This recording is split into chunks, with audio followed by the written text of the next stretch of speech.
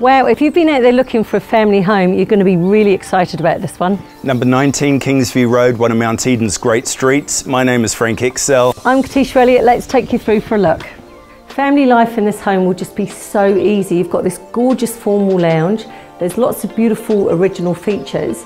But the nice thing about this home is you can keep the doors open and just have a great big open plan living or close those doors off. Kids can be in here, you can be out there entertaining everything's sorted.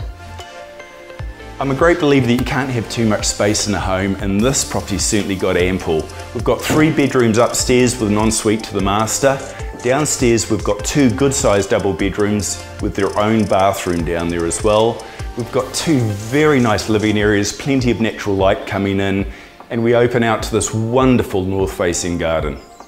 I love this back garden. You're surrounded by greenery. There's just a really lovely tranquil feel to it. I think you'll enjoy it too. You've got great school zones as well here.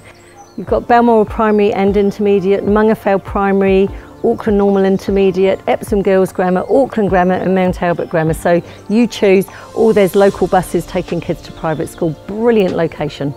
Easy access into the CBD, easy access also to the airport if you travel a lot.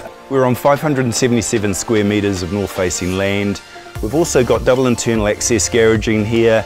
Auction is set down for the 4th of March with open homes beginning this weekend or viewing is by private appointment if you'd prefer.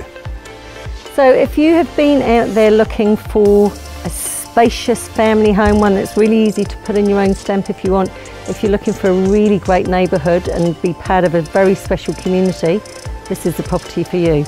Come along, we'll see you at the weekend.